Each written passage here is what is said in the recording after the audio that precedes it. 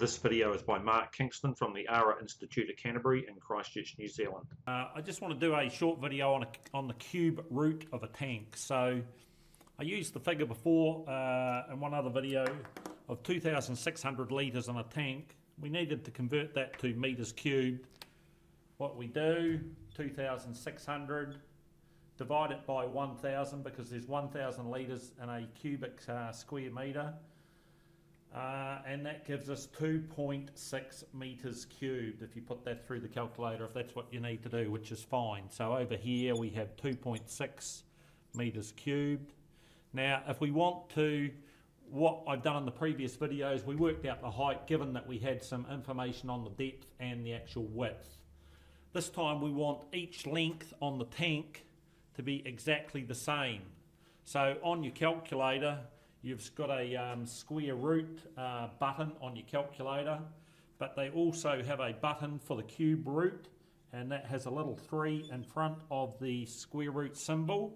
So that's uh, if you push that button, so what you want to do is you just want to type in on your calculator, use the cube root 2.6.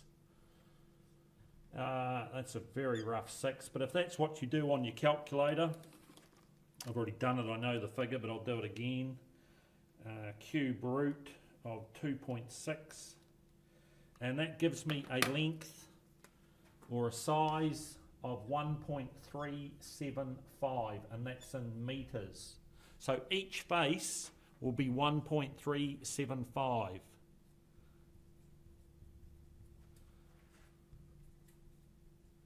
So just to check it, you should always go back through your numbers. All you're going to do is 1.375 times 1.375 times 1.375. So you've got a metre here times a metre times a metre equals metres cubed. If you put that through the calculator, you will come back to 2.6 metres cubed.